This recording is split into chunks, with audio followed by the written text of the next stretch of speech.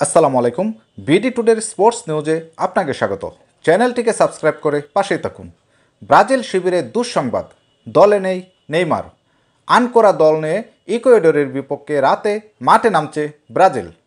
গত বছরের নভেম্বর মাসে পায়ের গোড়ালের ইঞ্জুরিতে পড়েন ব্রাজিলের পোস্টার বৈখ্যাত তারকা খেলোয়াড় নেইমার। চোটের কারণে ছিটকে যাওয়া ব্রাজিলের প্রাণ বোমরা নেইমারকে ছাড়াই শুক্রবার আঠাইশ জানুয়ারি লাতিন আমেরিকা অঞ্চলের বিশ্বকাপ বাছাই পর্বের ম্যাচে ইকুয়েডরের বিপক্ষে মাঠে নামবে ব্রাজিল। ফলে ইঞ্জুরি কাটিয়ে উঠতে না পারায় দলে জায়গা পাননি তিনি। তারপরও ছন্দ ধরে রাখতে উজ্জীবিত ক্যাসি মিরোরা তিনি বলেন, ওরা আমাদের হারাতে সর্বোচ্চটা দিয়ে খেলবে, আর নেইমার না থাকায় ম্যাচটা বেশ কঠিনই হবে।